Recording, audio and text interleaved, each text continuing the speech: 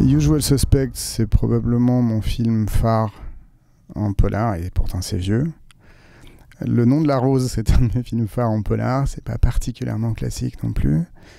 Et un troisième, qu'est-ce qui. Oh, J'aime bien From Hell, qui est très atypique aussi. Accessoirement, je bouffe un- une quantité industrielle de, films que j'oublie aussitôt, mais, euh, mais mes phares, c'est les vieux en général. J'aime bien Sherlock Holmes, c'est très très basique et bateau, mais je l'aime bien. J'ai une passion totale et absolue pour Jack l'Éventreur. Mais vraiment. Donc euh, il y a cette espèce de frange de tarés en Angleterre qui s'appelle les Ripperologists, qui sont les, les- mecs qui font des recherches sur Jack l'Éventreur depuis 1888, on est en 2017. Personne ne sait qui c'est, personne ne le saura jamais.